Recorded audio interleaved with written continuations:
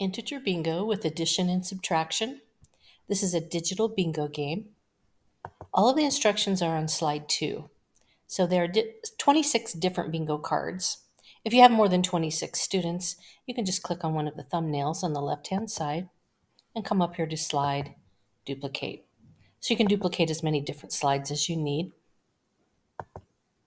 All of the integer problems you're going to give to the students are on slide three. So as you use each one, just click and hold on the edge, move it to the right hand side. And that way you know which ones you've used. At the end of the game, just come up to the undo arrow, click it repeatedly, and all the problems just go right back into place. I give the students editing rights so they can scroll up and down till they find the bingo card that they want. And I just instruct them to uh, type their name or initials in one of the chips. And that way other students know that this board's already been claimed. Now, as you're calling these out to the students, they're going to find the solution on their bingo card. They're going to click and hold on a chip and move it to cover their answer. Once they get five in a row, they can call out bingo.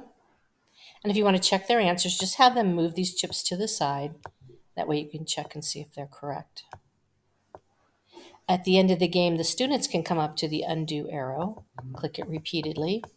All the chips go back into place and their name comes off the chip.